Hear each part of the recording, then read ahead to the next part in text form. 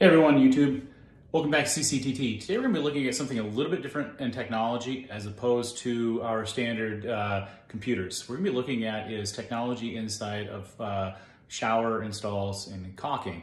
Um, it's just as important as looking at whether a piece of RAM fits in uh, or the newest motherboard. So today we're going to be looking at something a little bit different. Hopefully this helps. Uh, people who are going to be looking this up um, may hit my channel. Please feel free to look at all the other stuff that we look at uh, as we move forward. So today we're looking at a product called uh, Mapesil. Uh, this is the T Plus, and so there's uh, some issues with the 100% pure silicone, and that's the expiration date. Now, if you go to Lowe's, you're going to find out that uh, it's very difficult to uh, determine the expiration date when you're sitting there unless someone's given you uh, the code.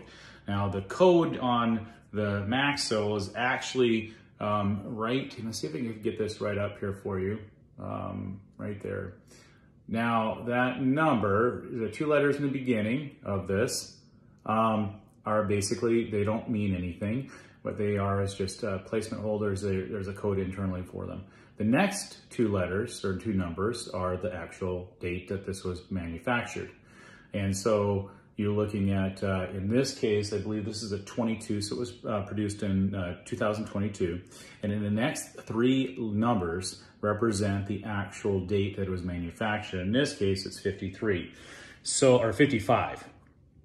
So if you look at the dates here, you'll see that uh, 55 corresponds with December 5th, so it was manufactured in uh, the 20 um, 21.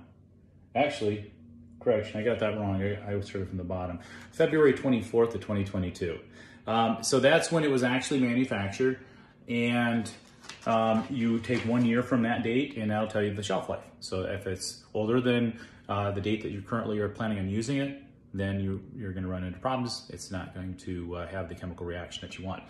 What I want you to know is that, and I'm gonna flip this over so that we can actually, now, let's see if we can do it this way.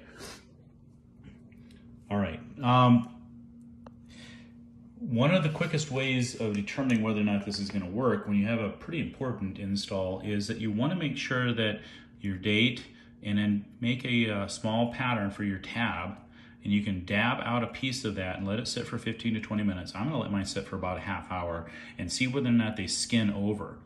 Now, on this case, uh, I've got um, a mocha on some of the darker co uh, corners that I plan on using and a few of these other lighter colors I plan on using.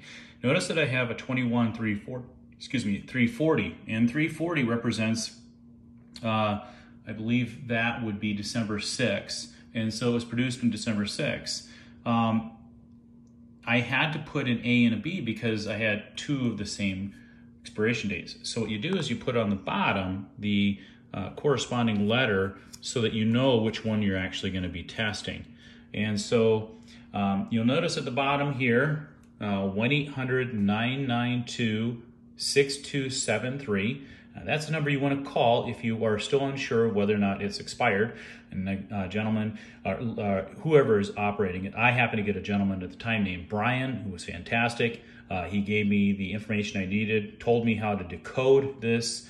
Um, so I'm going to send this off to YouTube so that uh, people are able to at least get a um, get a better understanding. So again, that number is 1-800-992-6273. I did get that off of a separate post. I can't remember exactly where it came from. Um, but anyways, uh, that, that number came from there. I couldn't find it anywhere else. There's not a lot of information and certainly no videos on this uh, uh, Mapesil uh, Plus uh, when you look on YouTube. So anyways, thank you. We'll talk to you guys in a bit. Bye.